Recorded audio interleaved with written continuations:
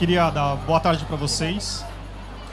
Agora a gente vai falar. Eu vou ter que. Tá tudo anotado aqui, tá, gente? Eu não tô no TikTok. Mas. Uh, a gente vai falar. A, a mesa de agora se chama O Poder da, de Transformação do Mercado Literário O Impacto dos Livros nas Pessoas. E agora eu vou fazer a apresentação. Vamos começar com a parte formal, tá? Essa é a Lívia Viana. Ela é graduada pela PUC-Rio, Letras de Jornalismo, pós-graduada pela UERJ, e a Lívia atua no mercado editorial há 14 anos. 15 anos quase, pelo visto aqui. Desde 2018, é editora executiva do Grupo Editorial Record, à frente da Civilização Brasileira, Paz e Terra, José Olímpio e Rosa dos Tempos. Além de ser responsável pelos livros digitais, e-book e audiobook, de todo o Grupo Record edita autores como Harper Lee, Pablo Neruda, Raquel de Queiroz, uh, Michel Foucault, Alice Walker, Paulo Freire, Carlos Drummond de Andrade, dentre outros nomes de grande prestígio. Logo ali na esquerda, Lúcia Riff, é, psicóloga. Eu fiquei surpreso com isso. Né? Fundou a agência literária Riff em 1991.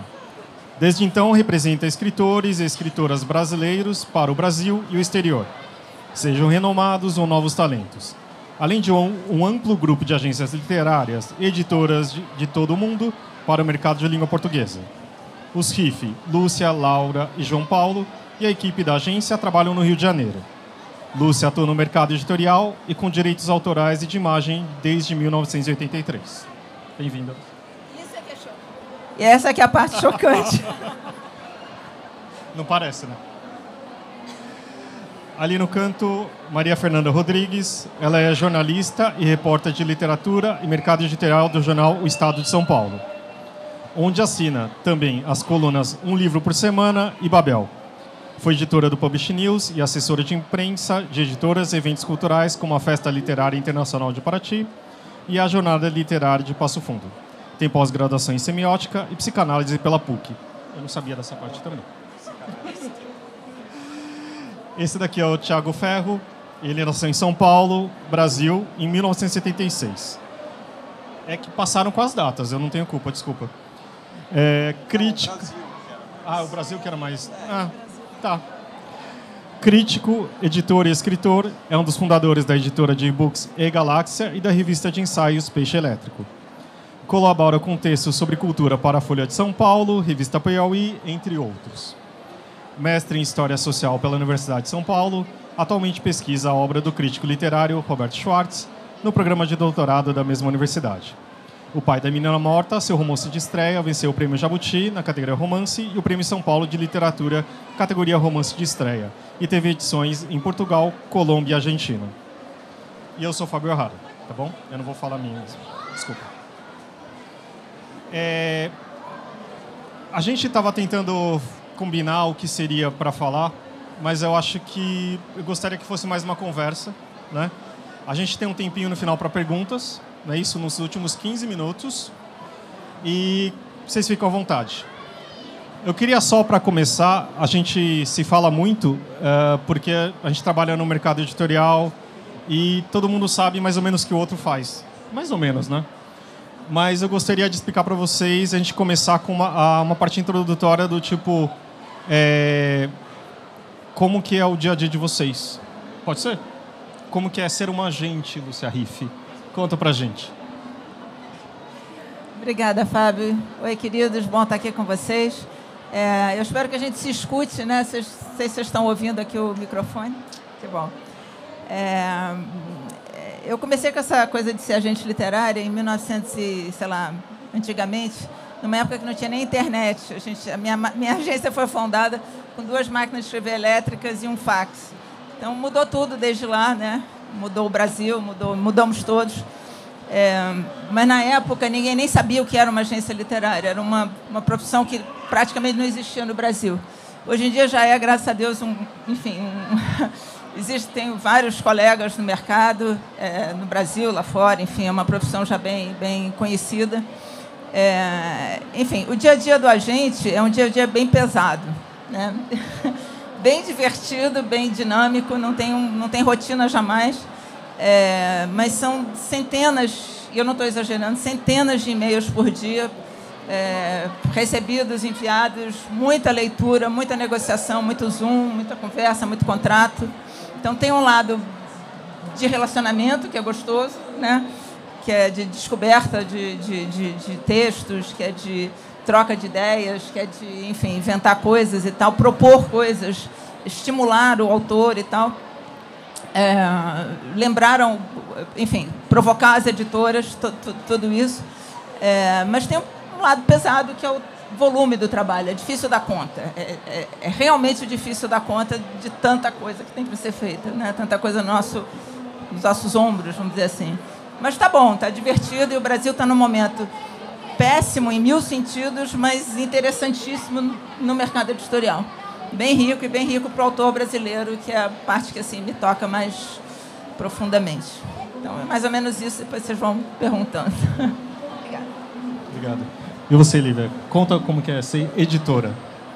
Eu acho que tem isso que a Lúcia falou, né, de uma é uma carga muito grande de, de trabalho e tem uma, uma questão que eu acho que Lúcia passa pela mesma coisa, que é tudo muito misturado. O que é o profissional, o que é o pessoal? Porque os, os, os seus autores viram seus amigos e, e, tudo se mistura. Então você tem um momento ali que não tem mais um pouco, ah, eu vou sábado e domingo é o seu dia. Não, não tem. Tudo, tudo é o seu, a sua vida profissional, né? E, mas assim, a questão do dia a dia, né? Eu sou editora de aquisição e de produção. É, comigo tem tanto a questão é, de dizer sim ou não para um livro, o sim é tão forte quanto o não quando você diz sim para um livro. É muita coisa, porque você vai contratar e, enfim, produzir aquele livro. E o não também. Quando, o não também é muito sério. Quando o editor de aquisição ele diz não, alguém vai dizer sim. E qual vai ser essa carreira desse livro?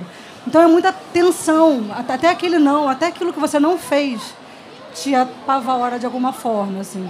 Então, dentro da aquisição tem isso, né? Então, eu faço aquisição para Civilização Brasileira e A Paz e Terra, que são dois selos de não ficção. É, para Rosa dos Tempos, que é um selo feminista, e para José Olímpio, que é onde a gente tem literatura. É, então, assim, eu, eu, tenho um, eu consigo é, atuar em frentes diversas. E para isso, claro, eu tenho equipe, tenho pessoas comigo, mas tenho muitos chapéus para se colocar e e é, é uma carga de leitura muito grande, é, de e-mail também irreal. Acho que, não sei, a gente tem que fazer alguma coisa sobre isso. E, e eu, acho, eu acho que a gente lê menos do que a gente deveria. Assim, muitas vezes a gente deveria ler mais, todos nós da cadeia né, de mercado. Assim, porque não é só ler. Se fosse só ler, estava bom. Mas a gente tem muito, muito problema para resolver. A gente tem muito. É, tem questão de contrato, tem questão de relacionamento. O editor não é aquela pessoa que fica atrás de um, de um papel ou de uma tela. Não, a gente tem um, um, um lado de RP muito grande também. Né? A gente faz, uma, às vezes, relações públicas também. É muito trabalho, mas acho que é muita. Enfim, eu gosto muito do que eu faço. E eu tenho até uma coisa que eu vou falar para vocês, que é, uma, é um meme, mas podia ser um ditado, que fala assim: trabalhe no que você gosta e nunca mais gostará de nada. Porque você não consegue mais parar de, de, de viver aquilo, né? De forma sim, sim. nenhuma. Então. Acho que é mais ou menos isso. É tipo, nunca mais o livro é a mesma coisa. Nunca mais nunca... a leitura é só uma leitura, nunca mais. Porque tem um sim ou não nele, né? Tem um sim ou não, tem quem traduziu. Ih, olha isso aqui. Aí tem as escolhas de frase, né? Tem... Não tem, não, acabou. Você não consegue mais ter a mesma leitura nunca mais. E você, Thiago, como escritor e editor? Bom. É... Eu fui um escritor estreante velho, né? E, então não saberia muito bem dizer como é a vida de escritor é, exatamente, mas aproveitando aqui o gancho, eu escrevi o livro por forças que a gente não sabe muito bem é, o motivo que nos leva a querer escrever um livro, já que não era um projeto, mas para o livro, para esse texto se tornar um livro e circular e ser lido, publicado, depende. Começou é, com a Lúcia, que falou que você não escreve? Vamos tentar. E aí foi a uma editora, uma editora que não convém falar qual disse não, aí depois uma disse sim, o livro saiu, aí tem o trabalho da Maria Fernanda de ajudar na divulgação. Então, é, o começo é escrever o livro, mas conseguir que isso aconteça, né, depende de toda essa cadeia que, como a Lúcia falou, de um momento interessante para ser autor, e eu acho que é mesmo, de você, depois que lança o livro, pelo menos alguns, né, não todos, eu tive a sorte de ser um desses, ser envolvido num grande debate. Né, poder participar das feiras, é, abrir diálogos com críticos, com leitores que talvez você antes não tivesse contato, aprender sobre o próprio livro. Né? Eu lembro que as primeiras entrevistas sobre o livro eu não sabia muito bem o que falar.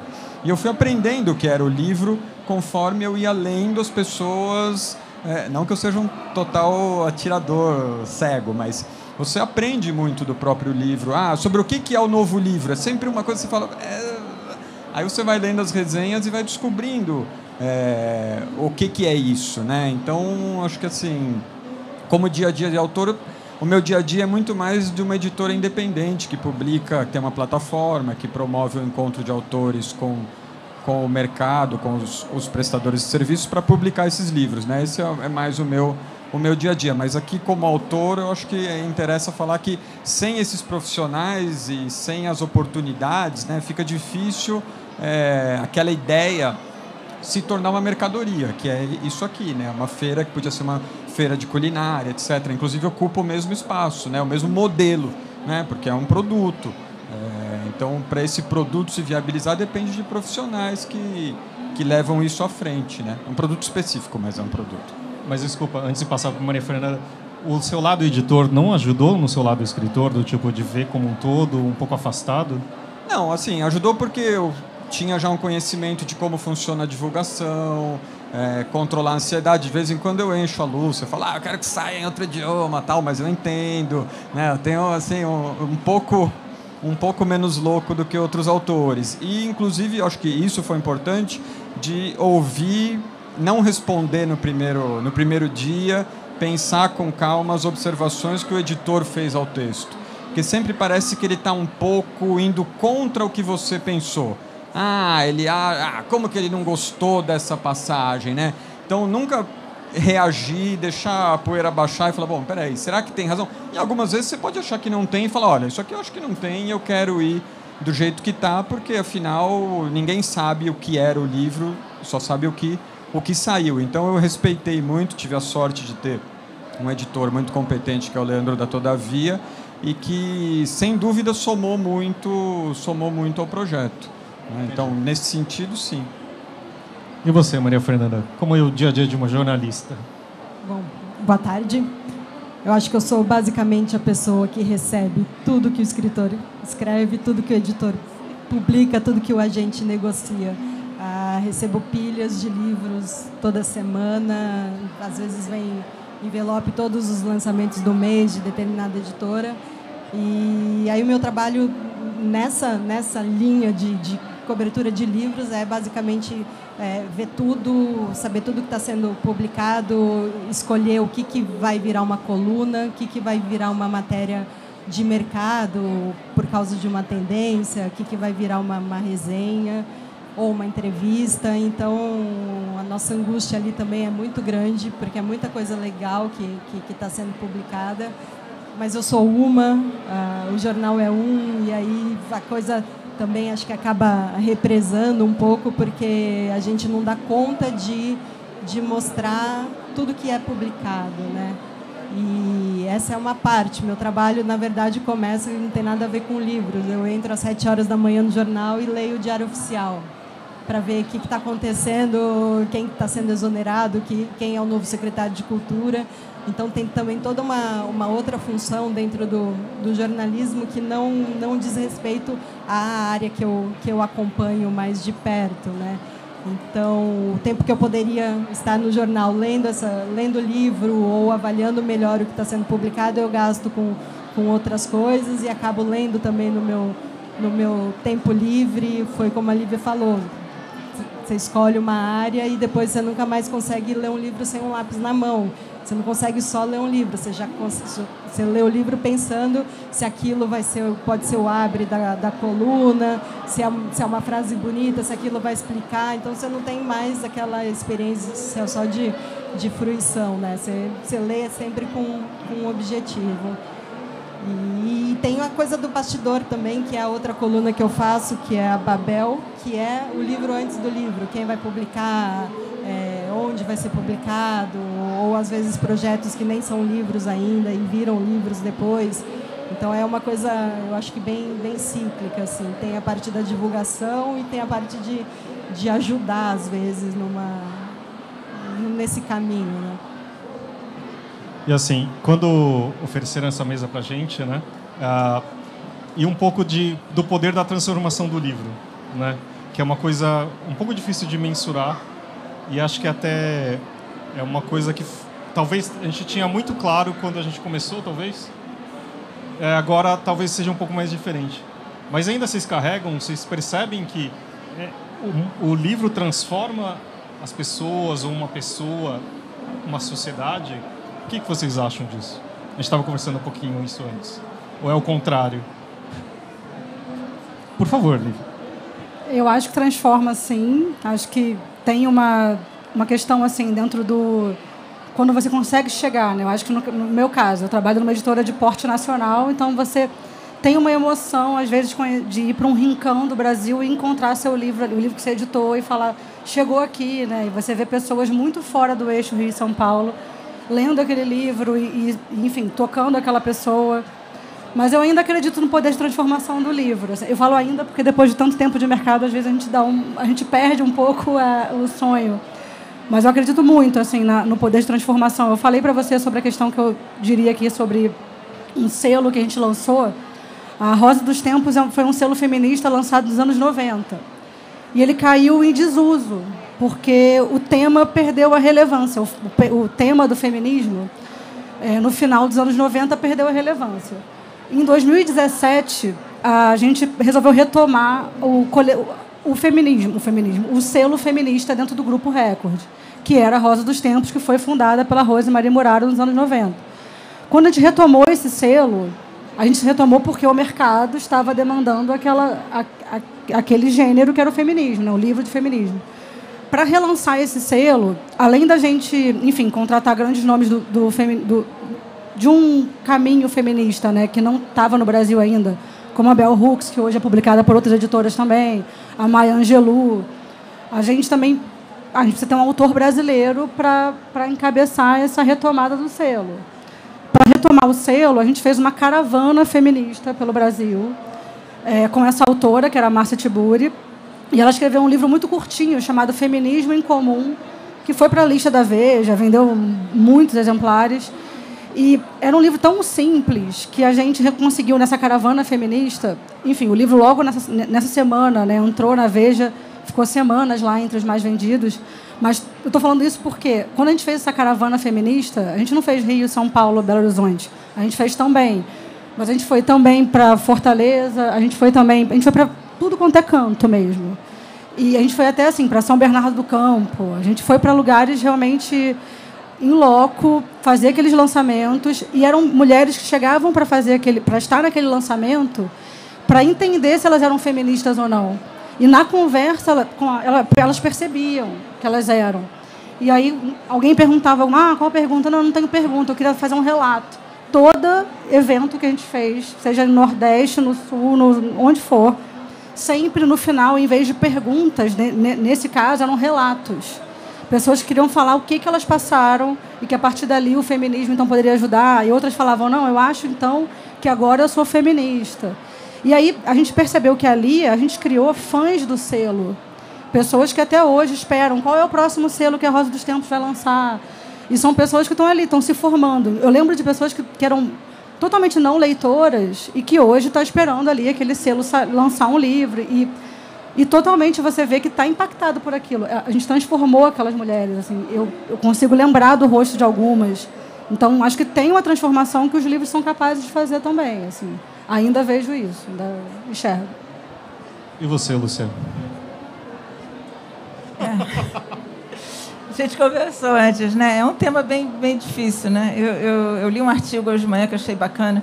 É, e tem aquela frase um pouco banal, mas que assim, você é o que você lê, né? Mas que é verdade, né? E, e, e o artigo era exatamente, o artigo tinha exatamente o tema da nossa mesa, porque é um livro de um professor de Harvard que é exatamente esse tema. E ele diz que sim, o livro transforma, mas, de, mas transforma em que depende do que você lê, né? Se você só for ler coisas assim, sei lá, fundamentalistas, não sei o quê, você vai continuar dentro dessa, dessa bolha que você escolheu para si. Quer dizer, não necessariamente um grande leitor é uma pessoa arejada, aberta, esclarecida, moderna, não sei o quê. Pode ser exatamente o contrário, né? Então, não sei, a frase em si, ela é, é, é, óbvio que eu acredito na força do livro, né? É no que eu trabalho, no que eu acredito, enfim, piamente. É, e eu acho lindo essa, essa coisa que a, que a Lívia falou, né? De você levar ideias e projetos para pessoas que nem, nem nem, tinham, nem sabiam que aquilo existia. Você trocar ideias entre povos, né? Você ler livros de outras, de outras realidades, de outros, enfim, do, do passado, de autores, enfim, que já não estão mais aqui entre nós. Então isso tudo é uma fonte de aprendizado assim sensacional, né? E a gente precisa beber dessa fonte o máximo que conseguir. Mas são escolhas de cada um e não necessariamente as escolhas serão, enfim, no, no, no caminho legal. Mas o que a gente está aqui fazendo, né, quer dizer, nós como agentes, editores, autores e tal, é tentar levar o melhor. Né?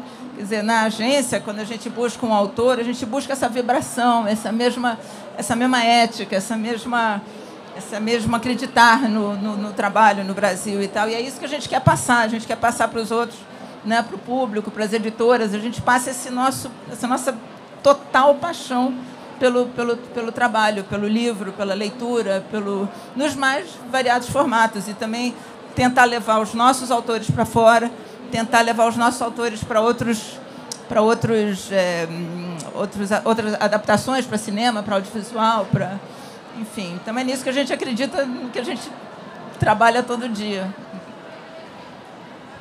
E senhor Tiago Ferro? Na verdade, a Lúcia roubou a minha fala, porque é, eu acho que tem o leitor de Paulo Freire, mas tem o leitor da extrema-direita. A Alemanha nazista era mega letrada.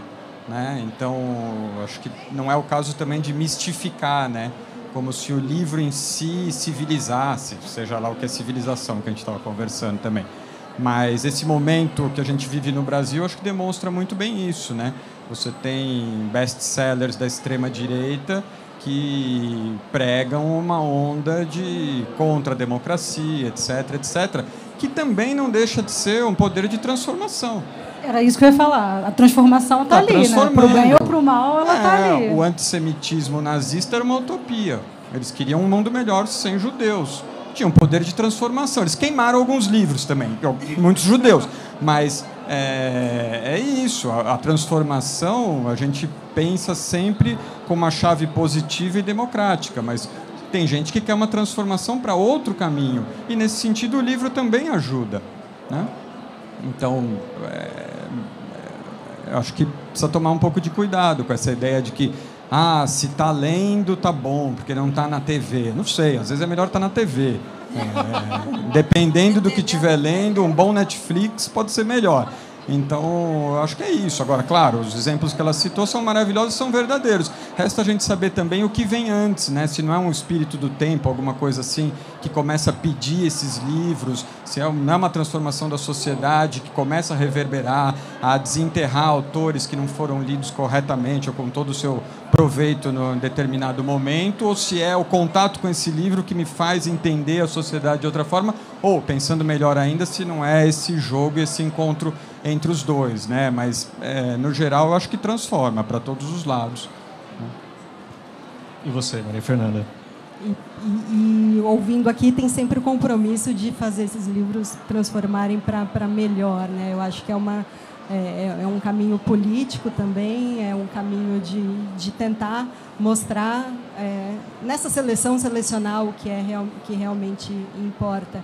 E eu acho que tem outras coisas que a gente consegue fazer e que não estão ali no, no dia a dia do, do trabalho, mas que acho que fazem a diferença. Acho que tanto por acreditar que o livro pode ajudar a uma criança, que uma criança encontre um caminho legal ali pela leitura ou que descubra um outro mundo, eu tenho feito, pelo menos principalmente desde que a pandemia começou e que os livros começaram a chegar lá em casa e eu tenho mais controle sobre, sobre isso.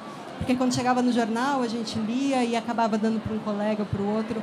Mas toda semana eu tenho enchido o porta-mala do carro e levo numa rede de o, o que não vai ser aproveitado pelo jornal, que eu, não, que eu sei que, não, que eu não vou conseguir fazer, ou, ou que eu não quero ficar mesmo, eu, eu dou para essa rede de, de bibliotecas comunitárias de São Paulo. Então, sei lá, pelo menos faço uma seleção, o que eu acho que, que merece ser, ser doado vai, o que não merece vai para outro caminho, assim. Então, eu acho que, que pode mudar a vida de uma pessoa, eu acho que muita, tem muitas histórias que, que provam isso. Acho que mudou a nossa vida, acho que a gente podia ter seguido outro rumo. Eu comecei minha, minha vida profissional numa indústria química e, enfim, tipo, quem diria que estaria aqui hoje? Mas, enfim, acho que, que muda, sim. Realmente não vale ler qualquer coisa, tem que ler a coisa certa. Mas isso se tirar um pouco do plano político, do plano de uma da construção de uma sociedade mais crítica, ele pode mudar a gente. Às vezes você lê um livro ali que, que dialoga com alguma questão que você tem, que você não sabe expressar, que você não, não consegue dar nome àquele sentimento e um autor conseguiu, por meio de um romance ou por uma não ficção, é, te apresentar isso que você está sentindo você não consegue nomear. Então isso acaba mudando também alguma coisa ali em você. Eu acho que a intenção é boa, no, geral, né? Tiago, deixa eu aproveitar é, que você está aqui. Eu, eu, quando eu te conheci a primeira vez, eu falei que eu sou, eu amei o seu livro. É, nesse seu ponto, assim, como e aí como autor, você não acha que também todo mundo que lê seu livro de alguma forma, você tocou essa pessoa de alguma forma, não importa que seja? A gente está falando, tem vários tipos de sentimento, mas isso também, como junto do editor que está dentro de você, você acha que essa transformação é um pouco diferente do que você estava falando antes? Tipo, por exemplo, o seu livro foi, teve um impacto muito grande em mim, tá? Porque tipo é, é algo assim. O que, que você consegue perceber disso de um leitor como eu? Isso, essa transformação que você carregou na hora de escrever esse livro, tá junto do e você consegue observar isso. Quando eu falo isso para você, eu amei seu livro. Ele teve um impacto absurdo em mim que, que você consegue perceber disso? É, eu nunca tinha pensado, é, quando falam isso para mim, eu nunca tinha é, levado tão a sério, não que eu não leve a sério, mas para responder nesse sentido. Né? A gente agradece, fica contente de saber que o livro tocou, mas eu nunca fiquei pensando o quanto que esse tocar é, impactou. Né? Eu sempre imagino a literatura, penso na literatura como uma forma pessoal dada através do meio de através de palavras que de alguma forma vão encontrar diferentes vazios nas pessoas. Né? E nesse sentido, eu acho que a gente tem uma espécie de comunhão de visão de mundo, parte de visão de mundo nesse momento que nós nos identificamos com um autor ou dois leitores que gostam do mesmo livro, né? Isso de alguma maneira faz que em algum ponto a gente se encontre, né? tem gente que escreveu, não, eu achei o livro horrível, não sei o quê. Então, quer dizer, são pessoas que. É, eu não quero nem perto de mim, não. São pessoas que, de alguma maneira, acharam que aquilo que estava dito no livro é um mundo que não faz sentido para ela, né? Ou, claro, tem, ah, não gostei do tipo de literatura, já que eu acho que não é um livro muito é, convencional na forma de narrar. Mas imagino que, de alguma maneira, a gente passa a ter aí uma espécie de ponto de contato. E aqui também eu queria falar de um privilégio que a gente tem, e aí falando para a Lúcia, de trabalhar com autores que são é daquela parte que a gente ama, lembra que você comentou? E como que é ter isso, esse contato tão próximo com essas obras? E você não é, eu sei que você falou que você modestamente fala que você não faz muita coisa ali, né? Mas você ajuda a chegar a uma editora que vai chegar no leitor final de uma, uma forma que você acredita que seja mais importante. Como que é imaginar esse, esse contato tão próximo com obras que são tão próximas do seu coração? Existe isso? Não, na verdade é que eu não gosto, é, eu não gosto de citar nomes, eu nunca cito nomes. E eu não gosto de, enfim, dá a impressão de que aquele autor atingiu um determinado sucesso, ou isso, aquilo, porque a agência existe. Né? Eu parto do princípio que o autor, o autor é o autor. Ele escreveu um livro sensacional e esse livro seria descoberto de uma forma ou de outra. É, é claro que isso às vezes não acontece. Muitas vezes a gente, quer dizer, é, é, óbvio que eu acredito no poder, no, no, no trabalho da agência, na, em como a agência pode ser útil para a carreira de um autor, seja um autor muito consagrado, seja um autor iniciante, enfim, seja um autor de, de qualquer enfim, um autor que tem poucas obras, que tem muitas obras, que tem que administrar, enfim. É, só que os autores procuram a agência por motivos diferentes, né? Às vezes é por uma dificuldade de, de lidar com o mercado, às vezes é por dificuldade de administrar a obra, às vezes é por um sonho de venda para fora, enfim, tem várias várias é, é, maneiras da agência atuar para uma uma obra, né? E de fazer diferença na vida do autor. E, e, e eu só acho que faz sentido o autor está conosco se eu de fato estiver fazendo diferença na vida dele, né? De fato estiver somando, é, ajudando o autor a assinar um contrato melhor, por exemplo. Né? Muito autor assina qualquer coisa que botam na frente dele. Desculpa, Tiago, falar de autores assim na sua frente. Não, eu estava pensando que eu era o que foi ajudado, não estava. né? Enfim, a editora manda aquele contrato de, 30, de 13 páginas que não fazem sentido nenhum e que estão roubando a alma do autor e o autor vai lá e assina. Mas, enfim, a maioria dos contratos não é assim, tô, tô, tô, tô brincando. Mas, mas isso, eu gosto dessa, dessa sensação de que a gente vai fazer diferença, seja para o João Cabral de Melo Neto, seja para o autor que está escrevendo seu primeiro livro. Né? Então, às vezes, ajudar a família, por exemplo, é quando é uma, uma obra que tá uma, né, já está com herdeiros, ajudar os herdeiros a se entenderem né, naquela gestão daquela obra. Porque é difícil mesmo. Dependendo do autor, você pode todo dia é, é, ter que tomar conta de alguma coisa relacionada à obra do seu pai, do seu avô, do seu tio, de quem quer que seja. E isso é pesa, se você não. Né, você ter que tomar conta da, da, da obra de alguém. Então, enfim profissional, o agente, o editor e tal, fazer essa parceria em torno desse cuidado é bacana. E às vezes o autor tem várias editoras, então você tem que também gerenciar esse. Mas enfim. Lívia, e me conta como que é lidar com esses tantos autores também e tantas, porque é, como editor, trabalhei muito tempo em editora, é às vezes é, eles são e-mails, às vezes são produtos, mas também é a obra de uma de um suor absurdo, né, que passou anos, meses, sei lá quanto tempo. E como que é lidar com isso? E com quantos livros que você lança? como você consegue lidar com isso? É, eu trabalho numa editora que publica muito livro, então para mim especificamente é uma pergunta quase não sei, eu acho que eu sou responsável por 20 livros por mês, pelo menos, por mês. Então tem muita coisa. É, e cada autor é um universo, né? Assim, vai ter um autor que demanda. Você sabe tudo da, da irmã dele, do casamento do primo, você sabe tudo o que está acontecendo naquele universo. Tem o autor que é mais protocolar, tem aquele autor que ele vai te mandar um e-mail, vai te mandar abraços no final, e está tudo bem. Tem autores que você conhece há 10 anos, então você também criou ali uma relação quase familiar com ele para o bem e para o mal. Às vezes também você precisa ter algumas conversas que não é tão bom você ser tão íntimo assim do, do autor. Tem de tudo, né? Mas principalmente o que eu mais percebo, e às vezes eu falo com ou com outros ramos do, da, do, da editora, né? seja comercial, seja marketing, assim, a gente está lidando, no final das contas, a gente quase sempre está lidando, não é com um produto, que o, o autor não faz um produto. O livro, quando ele, ele, ele é entregue para a gente, muitas vezes ele é o fruto da perturbação daquela pessoa. Muitas vezes ele é, ele é a grande um grande exorcismo da vida dele. E a gente não pode simplesmente pegar, não, esse produto, esse SBN é tal, não sei o que, não sei o que. Porque se você está num, num, conglomerado grande editorial, a coisa pode virar um produto e a gente tem que segurar a onda, assim, do tipo, cada autor é, é um universo ali. E ele requer um, um tem um trabalho emocional muito grande, tanto da parte do autor quanto a gente tem que ter de volta, porque tem uma sensibilidade em lidar com aquilo. Claro que os autores de não ficção, muitas vezes, são autores um pouco mais pragmáticos, são autores que. Mas mesmo assim, ele ficou décadas, às vezes, pesquisando aquilo. E aí você fala: não, esse capítulo aqui tem que sumir, porque está muito chato. E aí aquele capítulo, por acaso, foi uma coisa que significava muito para ele.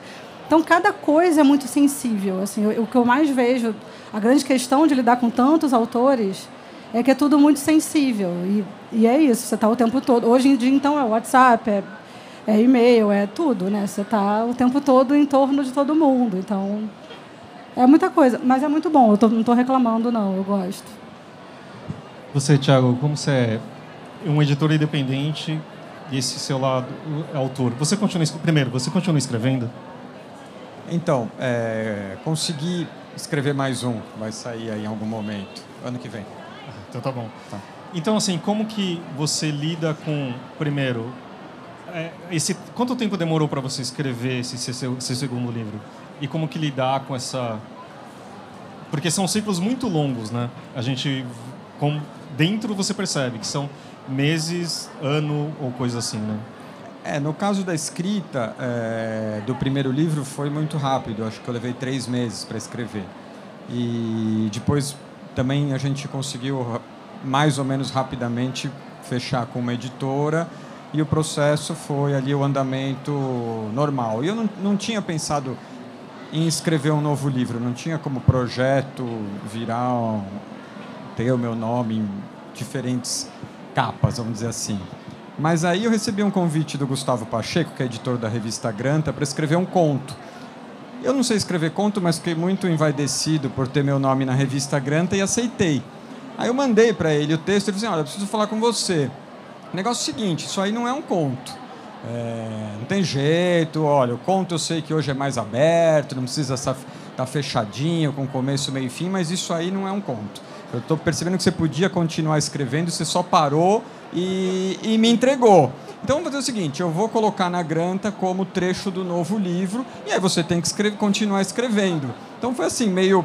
Claro, tinha aí uma questão de eu perceber que foi algo que eu acreditava que estava funcionando, né? E ele percebeu isso. Antes do editor da, da editora, ele sacou. E aí foi legal porque eu acabei me obrigando a continuar. Eu tinha gostado do que do estava ali, né? E, enfim, aí foi para editora e até ficou projetado um lançamento um pouco mais longo do que mais distante do que a gente imaginava. E no fim foi bom porque eu estou revisando estou conseguindo também lidar com um pouco mais de calma. Não que eu goste muito do, do processo né? Assim quando eu estou escrevendo. É... enfim é isso. Mas você cobra dos seus autores como editor também assim? Ah, não, acho que eu sou uma pessoa de trato fácil. Então, dos dois lados do balcão, eu não costumo é, pressionar ninguém, nada assim. E você, Maria Fernanda, como você consegue lidar com. São livros que aparecem na sua casa e você tem que escolher alguns poucos para você publicar, quer dizer, fazer para sair na coluna, para você seleciona de certa forma, né? E como que você lida com isso ou e como que as editoras, autores lidam com isso com você? Acho que todo mundo com, com muita angústia, né? De, enfim, uh, sei lá, tem uma questão assim. Eu leio no meu tempo livre, então para coluna, eu digo, principalmente. Então eu vou ler uma coisa que, que me interessa. Então ali tem mais ou menos um percurso meu percurso como leitora, seja quando eu falo de um livro novo, seja quando eu resgato uma leitura mais antiga, assim, né? Porque também o livro não tem, não tem tempo. Mas não tem, na real, acho que não dá, não dá para lidar muito, assim, é, é, aquela avalanche de lançamento, é aquela muito muito as editoras né, te procurando para falar porque é um projeto muito legal e a gente concorda que é e quer fazer e, só que às vezes não, não dá mesmo, né?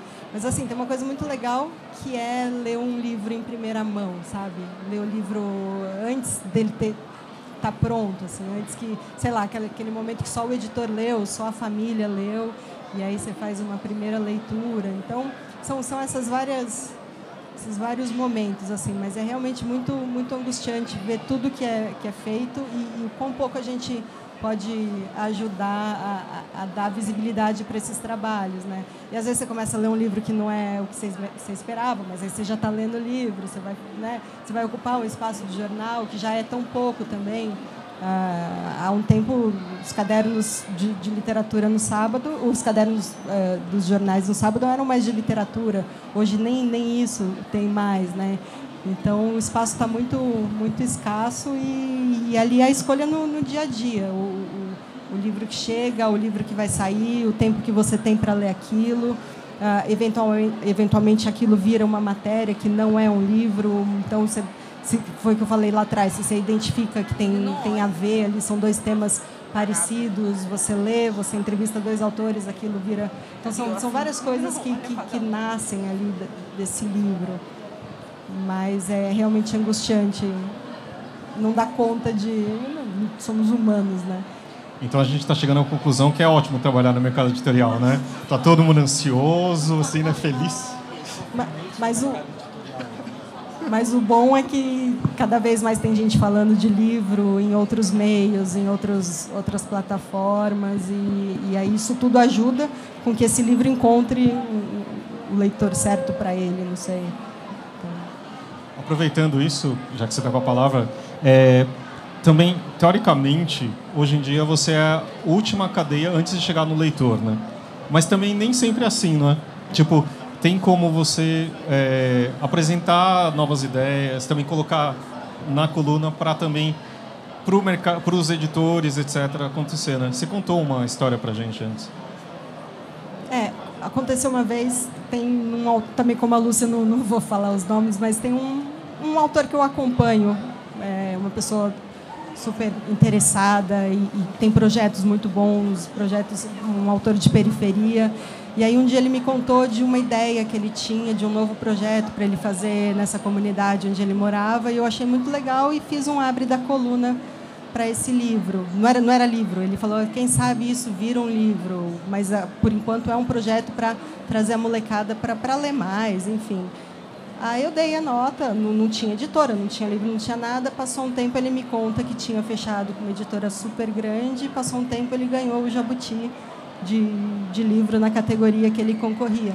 Então, às vezes, eu acho que uma coisa que é legal do trabalho do jornalista também é, é, é olhar para essas coisas que, que, que, não são notícia ainda, que não, não, não são nada ainda, mas que podem, podem vir a ser alguma coisa muito especial para aquela pessoa ou para aquela editora. E podia, o projeto podia não ter vingado, podia não ter saído o livro, podia não ter dado nada, mas a história teve, teve um final feliz, o, o autor tem um jabuti ali, super feliz também. E, eu, e, sei lá, eu tendo a achar que, que alguma sementinha, aquela, aquela nota plantou ali, alguém leu e, e foi ver mais. E lógico, daí entra o trabalho do, do agente, entra o trabalho do, do editor para transformar aquilo num produto que vai chamar atenção, que vai entrar num clube de assinatura, que vai ganhar o jabuti, que vai virar vai chegar no, nos leitores. Né? Eu fico pensando também muito do que a gente falou muita coisa não tão animadora, né? Mas ao mesmo tempo a gente está nisso há muito tempo, né? Todos nós, algum tempinho pelo menos.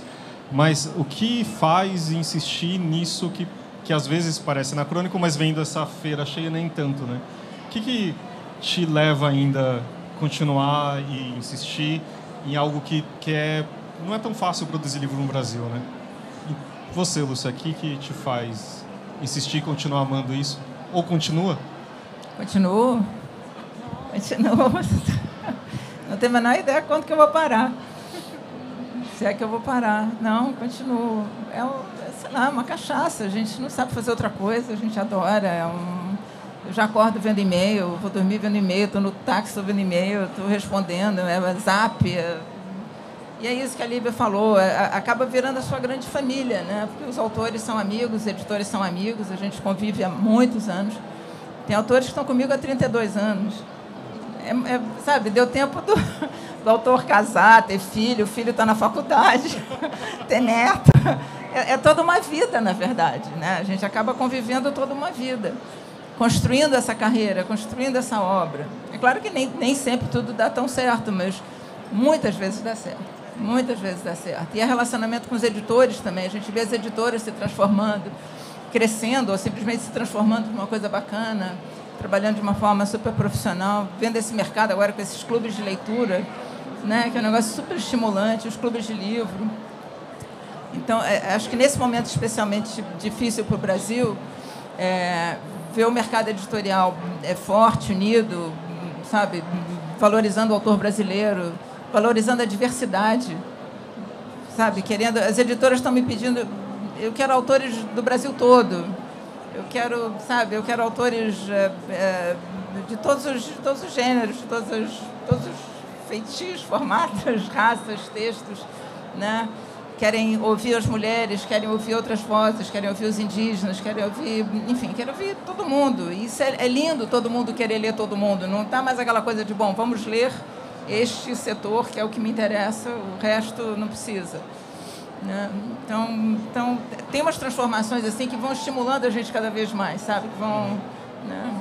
E vai tudo mudando, a tecnologia mudou tudo, acelerou tudo. Né? A gente viu a chegada do, da internet, depois viu a chegada do e-book, viu a chegada do audiobook, agora, sei lá, que é mais que, che que chegadas mais que nós vamos ver, né? E, é, e é bacana que você tem espaço para o grande e você tem espaço para o micro também.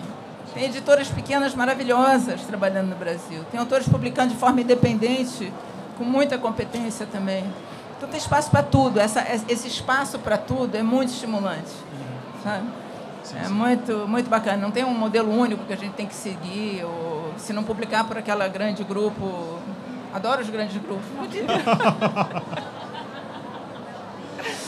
Mas, enfim, estimula. Agora, é, é, é, é, você tem que ter muita, muita força, né? Porque é, é muito trabalho. Lívia, você falou que se trabalhar uma coisa que você ama, você vai ter mais uma coisa que odeia, é isso? O quê? Se eu trabalhar o quê? Desculpa, brincadeira. Não Péssima. Não... Mas assim, como que você faz para continuar amando trabalhar com livros, mesmo isso falando, toda vez que lê um livro é um exercício profissional também, mesmo que seja por prazer.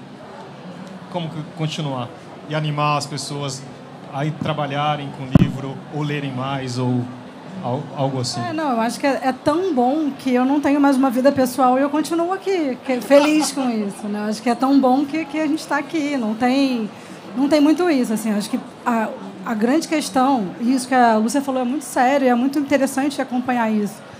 É, eu comecei a trabalhar com o livro em 2007.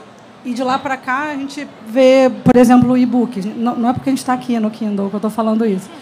Mas tem uma, um, lado muito interessante, assim, de é, a gente está vendo ali, não sei quantos milhões não está, né, num, num, num devicezinho. É, o como que você vê, o e-book era uma coisa que há pouco tempo não tinha deslanchado. E agora já é um formato que muita gente só está lendo no e-book. Aí, aí usa o, o, o e-book para pegar, para fazer uma. O e-book é quase um cardápio, às vezes, do, daquele formato né, de um livro impresso. Eu, por exemplo, na José Olímpio, estou fazendo algumas edições facsimilares lá dos anos 40. Então, assim, ao mesmo tempo que o e-book está avançado, a beça, a gente também está voltando atrás. Para fazer um livro facsimilar, a gente tem que redesenhar a fonte, a gente tem que pegar um papel que pareça amarelado. É um, é um trabalho totalmente. Vamos voltar no tempo. E, ao mesmo tempo, por exemplo, eu também sou responsável por audiolivro, que você conhece muito bem. É, o audiolivro, eu conheço pessoas que falam, não consigo me concentrar no audiolivro. Enquanto tem outras pessoas que falam que só consegue hoje lavar louça é, com o audiolivro rolando, só consegue dirigir com o audiolivro rolando. Então é muito dinâmico, né? Assim, claro que eu tenho uma preferência pelo eu tenho uma preferência assim por editar livros é, mais do que audiolivro. Mas assim, tem um caminho muito interessante também, por exemplo, a gente fez o audiolivro do 15 da Raquel de Queiroz. Ela fala muita coisa com sotaque. Então tem um desafio muito grande em você estar tá editando um, um, clássico no audiolivro. Né? Então vai ter sotaque ou não vai ter sotaque. É, vai ter uma entonação dramática ou não vai ter uma entonação dramática. E isso também é livro, é audiolivro também é livro. Opa. Né? Opa.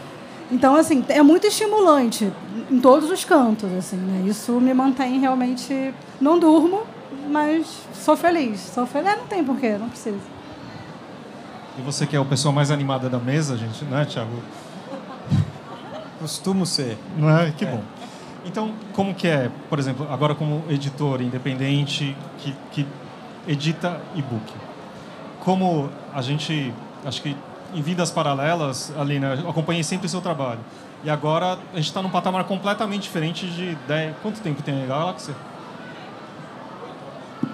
Nossa, Oito anos. São quase oito décadas, né? Tipo, em termos de transformação. E como que é continuar insistindo, editando, publicando no mundo de hoje, de eterna transformação? Como...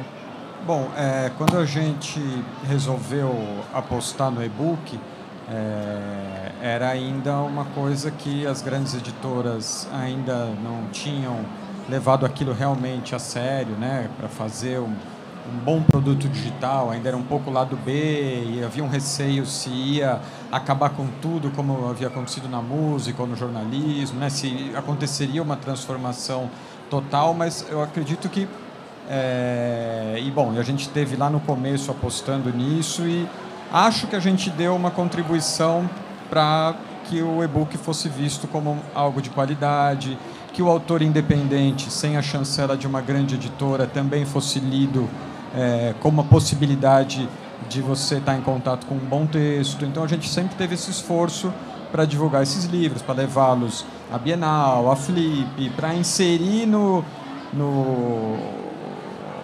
mainstream, vamos dizer assim, essa coisa um pouco mais independente.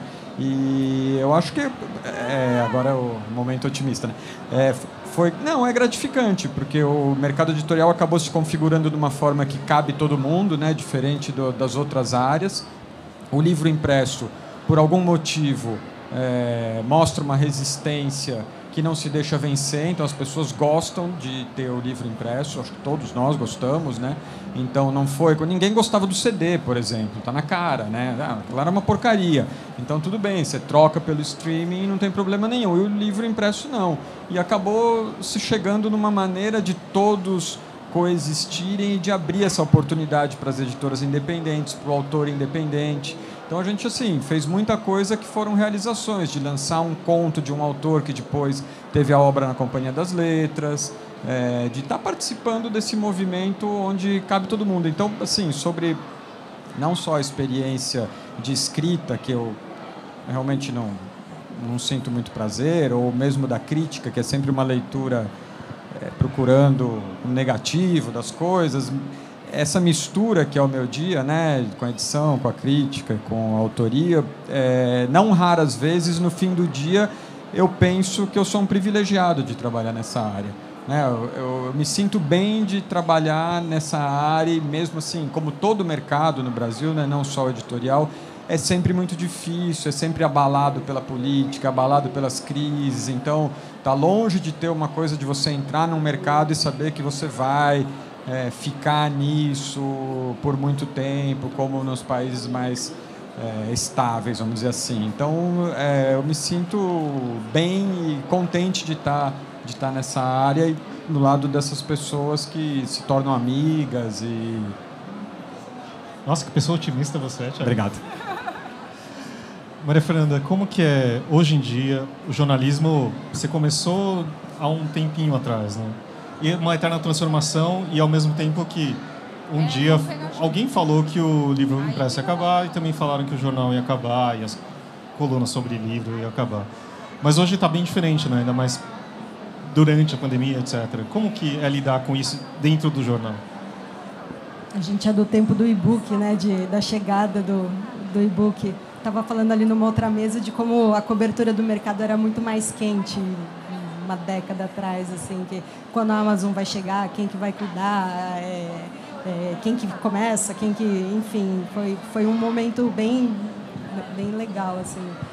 Mas nada acabou, o jornal não acabou, o livro impresso não acabou, a gente continua escrevendo sobre livro como escrevia lá atrás, a gente continua batalhando por ocupar esses espaços do jornal para que tenha mais matérias de livros para acompanhar esse mercado que está tão diverso e tão mais bonito do que era quando eu comecei, porque realmente a gente só via as grandes editoras e hoje uh, a gente continua vendo, toda hora a gente olha para ali e fala, a gente continua vendo as grandes editoras, mas, mas tem muita coisa legal sendo feita e, e, e, e é bonito acompanhar.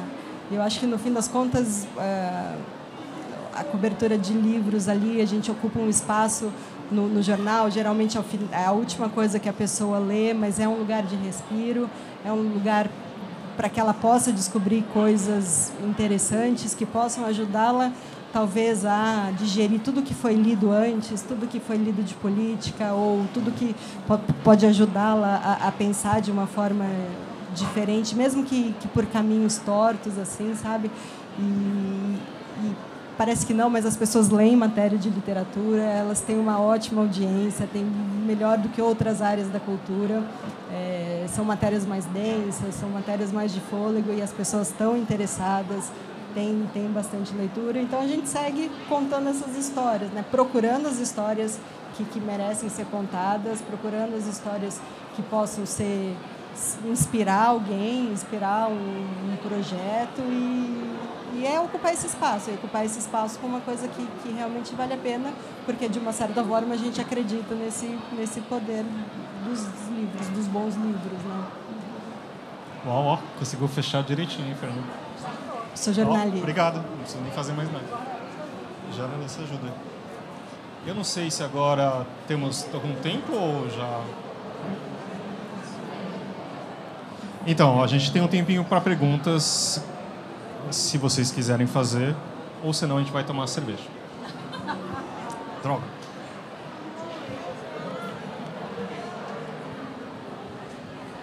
Eu queria saber como que existe a divisão na hora de vender um autor, na hora de contratar um livro, na hora de escrever. Se existe essa divisão do que você gosta, do seu gosto pessoal, do que você admira e do que você acha que pode ser de fato bom. Difícil hein? É para quem a pergunta? Para a gente. Essa parte é bem difícil. É, é, eu acho que a gente procura na agência é, buscar o que é bom, o que tem qualidade, mas não necessariamente o tema que mais me toca ou o tema que, mas o que é o que é bom, o que é, o que é bem escrito. Não importa se é comercial, se é literário, se é ficção, se é não ficção, se é para adulto, se é para criança, tem que ser uma coisa de qualidade. Mas aí, no caso da agência, tem uma outra questão. É, porque o editor vai procurar o que vende. Né? A agência tem que procurar também um bom relacionamento com o autor. Quer dizer, aí, porque tem, tem uma decisão anterior que é a representação do autor. Né? É claro que muitas vezes o autor já chega com um livro. Então você conversa com o autor, mas você já tem um livro para ler. Mas, mas esse contato autor-agente é um contato muito especial muito único, tem que rolar uma confiança muito grande, tem que rolar uma empatia muito grande, uma, né, uma troca de, de é, é sei lá, uma convergência aí de valores, de, né? É, então, aí tem uma outra questão que é, que é maior, vamos dizer assim, né? que, é, que, é, que é diferente. Mas eu procuro, é, e nós, estamos em três aqui, eu, Eugênia e Júlia, estamos, estamos aqui as três. É, a gente procura trocar entre nós né, o que a gente acha, para não ficar uma coisa assim do meu gosto, ou do gosto de um ou de gosto de outro, né? E também fugir de modismos ou fugir de, sabe? Mas essencialmente é uma coisa assim, de um bom relacionamento, do melhor possível, de muita confiança, muita vontade de trabalhar uma obra, de trabalhar para frente, de não ser focado naquele único livro.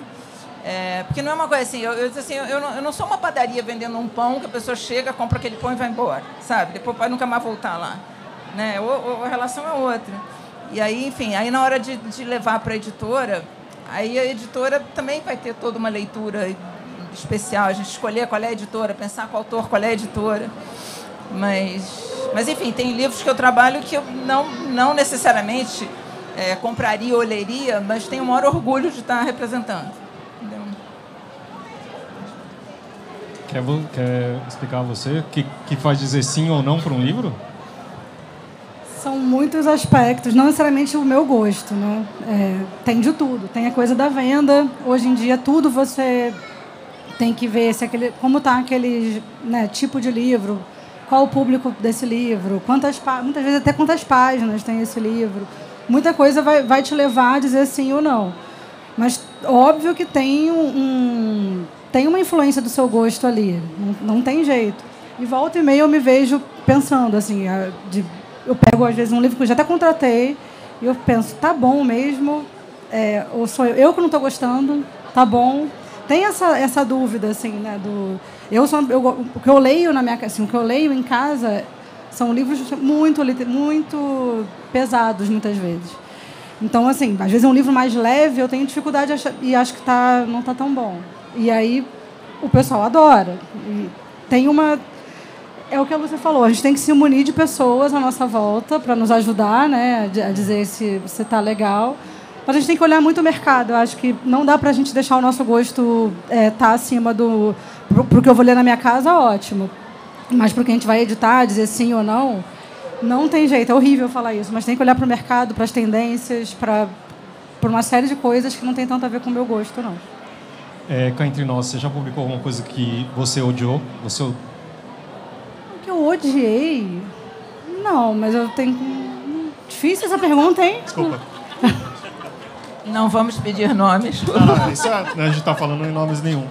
E você, como dono da sua própria editora, você faz isso também?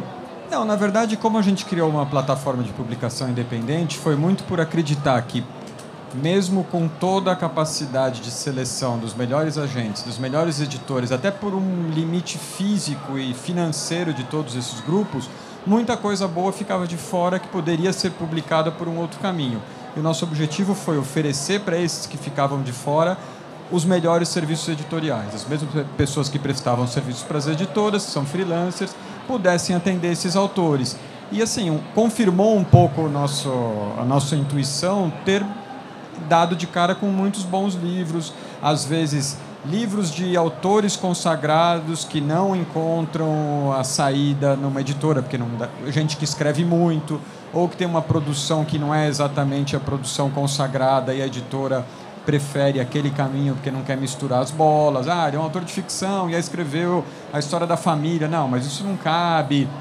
Então a gente acabou encontrando um mar de autores e que eu acho que soma tudo isso que elas falaram, né? E encontra aí uma diversidade que nem sempre o mercado editorial tradicional consegue dar conta, porque obviamente que elas têm que seguir um pouco de tendência e às vezes um bom livro pode ser completamente fora da tendência e por isso não encontrar o seu lugar nas editoras, mas ser publicado e ter os seus leitores, encontrar o seu caminho. Acho que ao e-book veio somar a divulgação nos meios digitais, que também mudou muito essa lógica de que é, alguns a limitação do espaço do jornal, que então só caberia aqueles autores a serem divulgados. Né? Acho que tudo ficou mais pulverizado e, e mais interessante para quem quer uma coisa que é fora do, fora do padrão. E aí as editoras tradicionais também começaram a buscar esse fora do padrão e trazer para dentro, né? E buscar essa diversidade que não era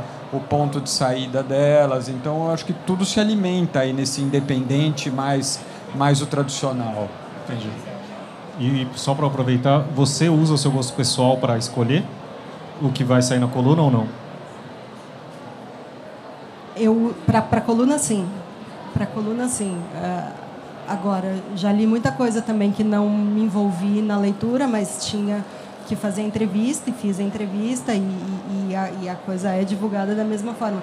Talvez não com tanto, como se diz, envolvimento, como é um texto da coluna ou como é com um texto sobre um livro de qual, do qual eu gostei, mas é impossível não, não, não, não deixar isso influenciar, porque foi como eu falei, sou eu escolhendo um livro que eu vou ler no meu tempo livre. Agora, quando eu, quando eu tenho que fazer uma entrevista, quando está, né, é, aquele autor X vai dar, vai falar dar duas entrevistas sobre o livro. Você aceita a entrevista antes de ler. Você pode gostar, você pode não gostar, mas você vai fazer, porque é um livro importante, é um autor importante. Então, é, tem coisas que eu escolho, sim, tem coisas que, que, eu, que eu sei que eu tenho que fazer. Então, tem, tem um pouco do, do, do humano, tem um pouco do profissional, tem um pouco do enfim, mas só aproveitando que o Thiago falou, acho que o livro vai sempre enco encontrar uh, o leitor ainda mais hoje. Assim, antigamente era muito mais difícil para um autor, acho que ter uma visibilidade. É claro que a coisa de, de ter uma matéria no jornal impresso ainda tem um certo prestígio, mas quando o livro é bom, é, ele vai encontrar quem leia e, e existe todo um boca a boca que independe do meu trabalho que, que independe do agente, que independe do, às vezes, do editor. É claro que, que tem o dedo de cada um de vocês nesse momento, mas se o livro tocar a minha mãe, minha mãe comentar com a amiga dela, que comentar a coisa, história, e o livro que tinha sido publicado lá atrás e tinha vendido 10 mil exemplares, vai vender 30, vai vender 40, e sem ter saído uma matéria no jornal, enfim, eu acho que, que tem, tem muitos caminhos assim para que essa história chegue, é, seja descoberta. Ah, mais alguma pergunta?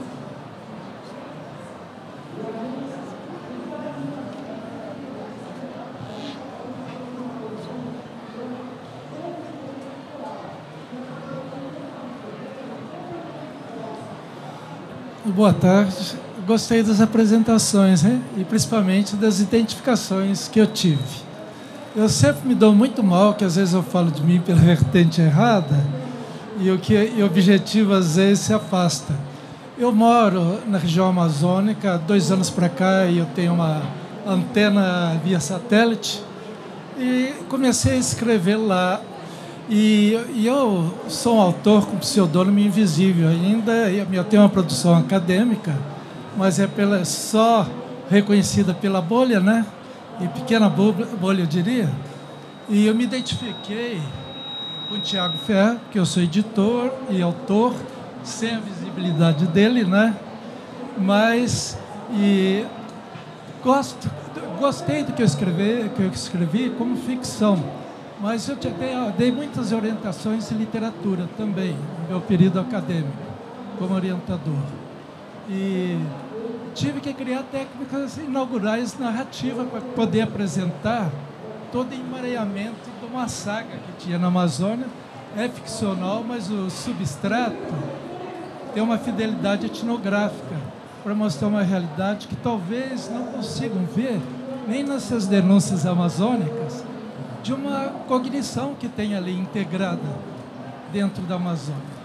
E o meu pretexto mais ambicioso é contato. Artifíciozinho de uma é, tive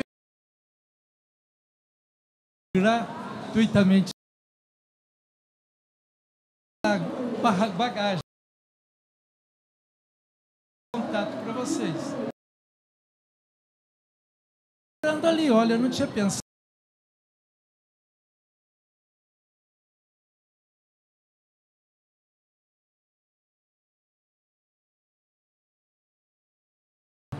Mas estou há 35 anos lá. Né? E as coisas que eu nunca poderia apresentar numa banca, criei o romance.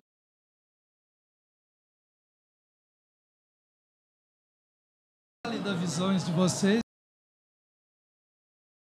Sim, mas espero que chegue.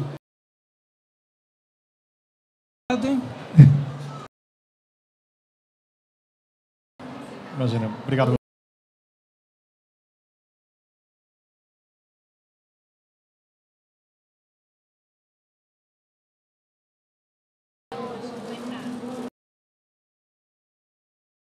Está perguntando aqui qual a tendência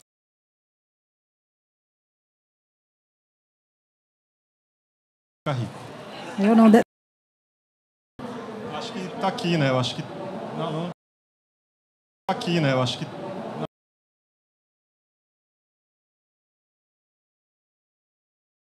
Isso é muito incrível. Isso é uma inclusão. Agora a gente já, a gente já virou. O feminismo já está dentro de um. já é um trendsetter. Parte de. Agora